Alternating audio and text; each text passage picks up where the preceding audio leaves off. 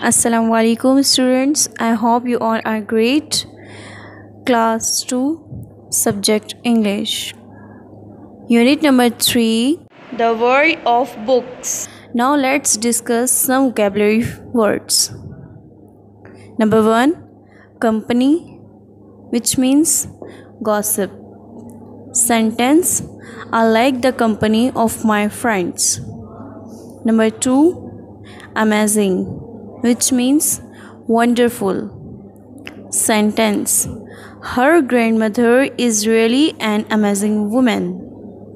Number 3 Whole which means complete.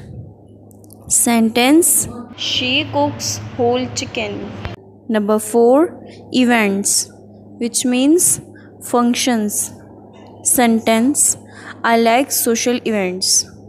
Number 5 inside which means inner side. Sentence i clean my car inside and out. Number 6 imagination which means the ability to create pictures in your mind. Sentence his imagination is very creative. Number 7 adventure which means an unusual and exciting experience. Sentence I like adventures. Inventor, which means a person who has produced or designed something.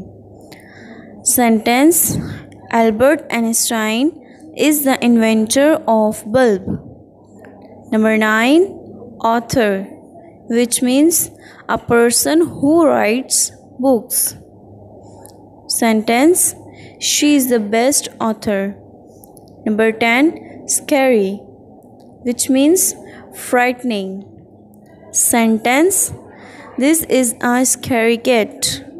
This is your assignment, students. You will complete the assignment and submit at school. Thank you.